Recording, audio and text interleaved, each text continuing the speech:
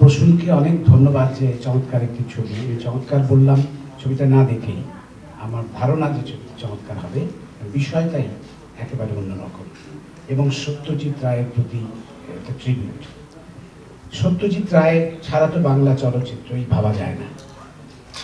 সুতরাং তাকে নিয়ে আমরা যত বেশি আয়োজন করতে পারব, তত আমাদের জন্যই ভালো। যাই হোক, বেশি কিছু আর বলব না। সত্যজিৎ রায়ের প্রতি গভীর গভীর শ্রদ্ধা জানাচ্ছি। আমার ব্যক্তিগতভাবে আমার জীবনে তিনবার সুযোগ হয়েছিল এই মহান চলচ্চিত্রকারের মুখোমুখি হওয়ার।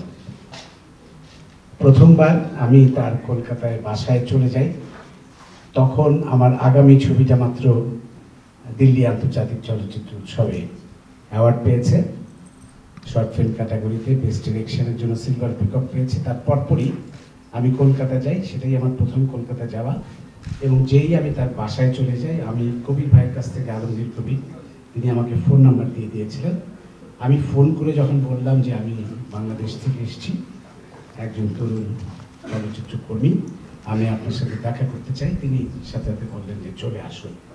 তো পরদিন গেলাম তার এখানে, এবং তিনি আপনি আপনি করেই বলতেন যত ছোটই হোক না কেন।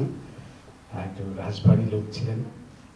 তো আমার মনে আছে যে চমৎকারভাবে সেই তার ঘরে বসে তিনি আছেন আর আমার সাথে কথা বলছেন। আমি তো কি আর কথা বলব? আমি তো শুধু মুক্ত দৃষ্টিতে দেখছি, এই আর কি।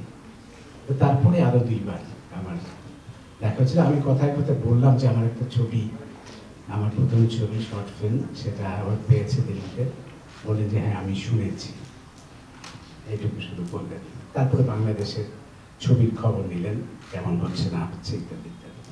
তো যাই হোক, সে একটা দুর্লভ স্মৃতি আমার, এবং এটা তো মানে কি বলব মানে আমার সারা জন্মের ভাগ্য যে তার মুখোমুখি হতে পেরেছিলাম। তো যাই হোক, তার প্রতি আবারও গভীর শ্রদ্ধা জানাচ্ছি, এবং কুসুমকে ধন্যবাদ তাকে নিয়ে একটি ছবি করার জন্য, এবং বাংলাদেশের পক্ষ থেকে আমি শুধু প্রশ্নের একার নয় এই বাংলাদেশের সকল চলচ্চিত্র কর্মীর পক্ষ থেকে এটা সত্যজিৎ চায় প্রতি আমাদের শ্রদ্ধা।